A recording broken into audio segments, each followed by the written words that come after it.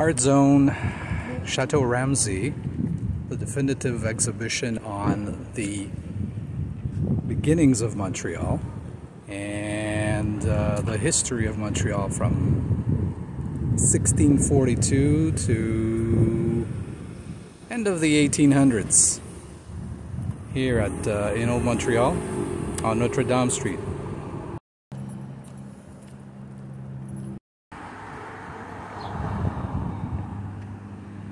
The chateau was built and actually in 1705 by Pierre Couturier as a residence for Claude de Ramezay, governor of Montreal. See, there's the Greek connection for Montreal and Greece, okay? Back in ancient Greece, cities were states. And so too was Montreal in the 1700s.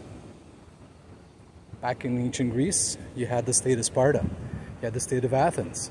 The state of Sparta was governed by Leonidas, warrior chief.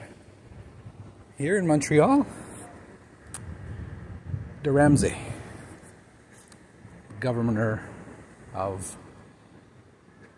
Montreal. And uh, what's really cool, in back of the museum, you got the coolest garden, the best maintained garden in Montreal, and uh, I would say better than the botanical gardens and in all of Canada.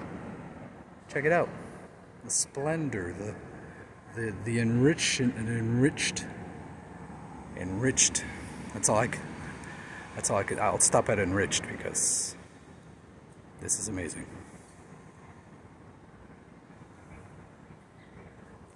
So come on down, Chateau Ramezay, Old Montreal, on Notre Dame Street.